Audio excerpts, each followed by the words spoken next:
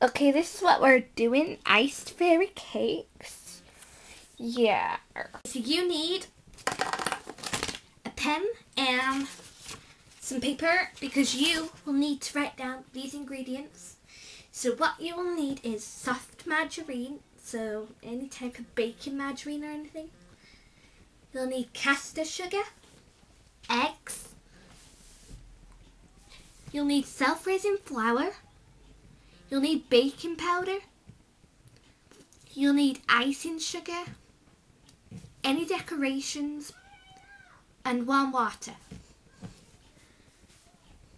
Those are the items that you'll need. So, to make these, you'll need 4 ounces of soft margarine, 4 ounces of caster sugar, 2 eggs, 4 ounces of self-raising flour, 1 teaspoon of baking powder.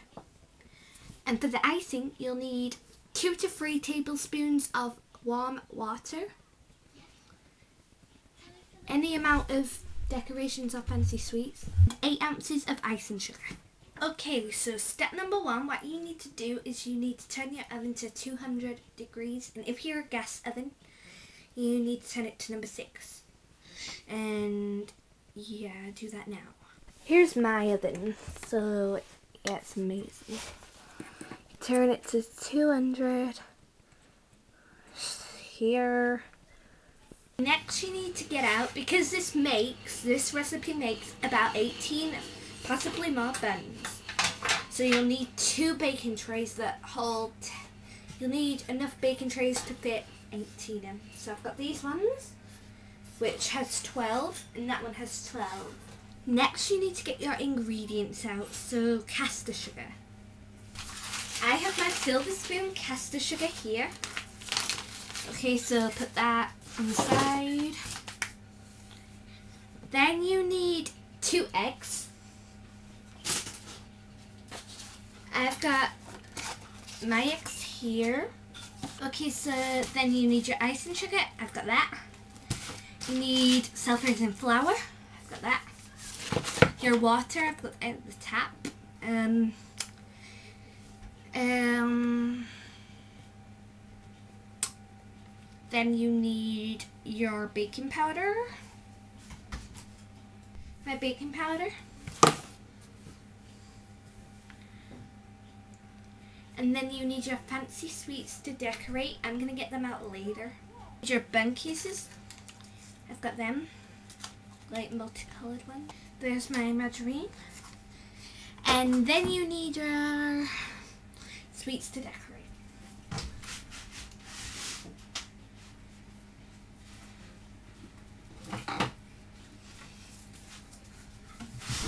I've got them right here. Okay, time to start baking. First you need to place 18 bun cases into your tins.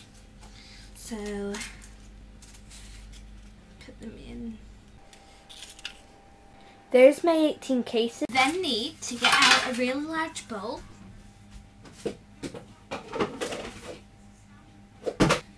This is my really large bowl.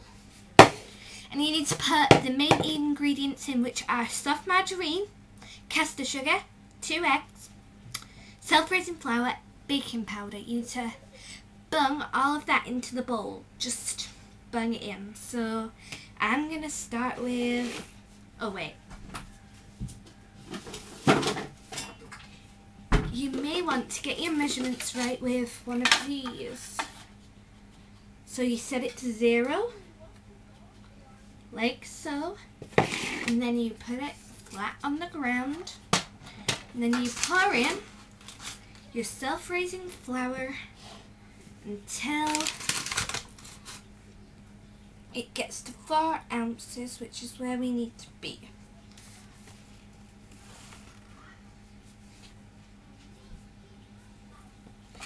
One, two, three, four. Is it really? Okay. And that goes into the main bowl. Oh my god. Put it back. You're meant to sieve the flour.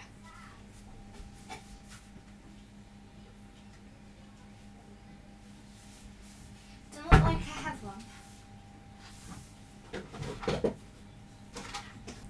Okay, you need to sieve the flour.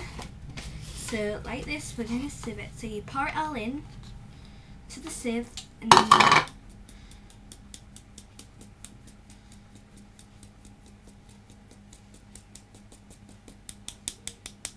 sieve your flour. So look how good that looks.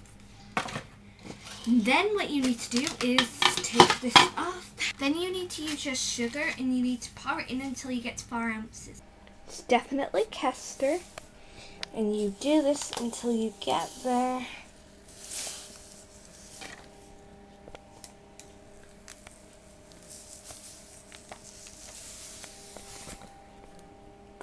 You have your sugar, you pour it in with the flour. You do not need to sieve your sugar unless it's very lumpy. Okay, and next we need to do our eggs. My eggs. Once that is done, what you need to do, well, so on the side of the bowl, you crack your eggs. If there's any shell, you need to use your fork and scoop it out. Because people don't like shell in their eggs. Also, before everything, you're meant to wash your hands. So if you're wondering why I haven't done it on this video, I've already washed them. So that's main tip. You're also meant to wear an apron, but my gloves are really clean. This. Like, gooey messed up stuff. Because then what you do is you take your baking powder, obviously you open it, and oh, then what you do is you get a teaspoon, like around here, not too heaped, and you pour it into the bowl. You then need 4 ounces of butter. Mine's brand new, so basically using your measuring scales, so take the bowl off. You need to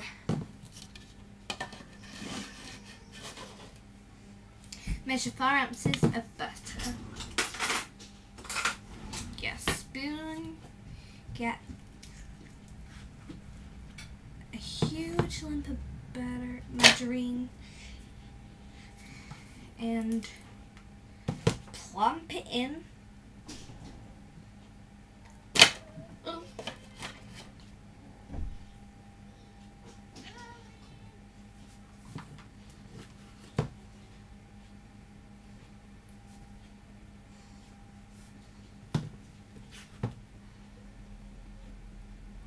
Keep doing this until you've got four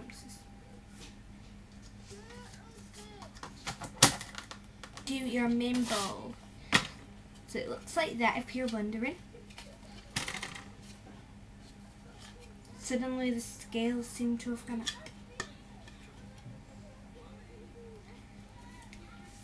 After you've done that, it's ready to be mixed. I'm going to use an electric whisk. So you plug your electric whisk in. I think mine's broken. Oh, I've got it the wrong way around.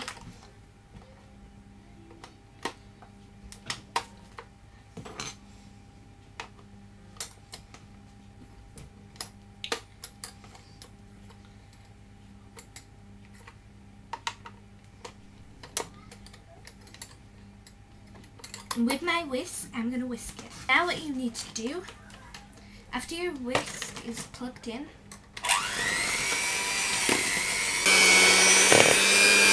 until really, really creamy pasty mixture.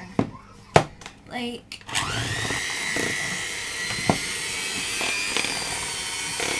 Your mixture should like this, and then with these things, you can just lick them up. Mm. Now what you need to do is, with this mixture, you need to get a big spoon, like this, tablespoon, and you need to spoon it into equally each piece. I've just made 18, only just, and then I'm to lick this. So now they need to go in the oven for about 15 to 20 they're now in the oven. So now I just get to pass some time by putting my ingredients away, cleaning up, and licking. Been 15 minutes and they're done now. I'm going to ice.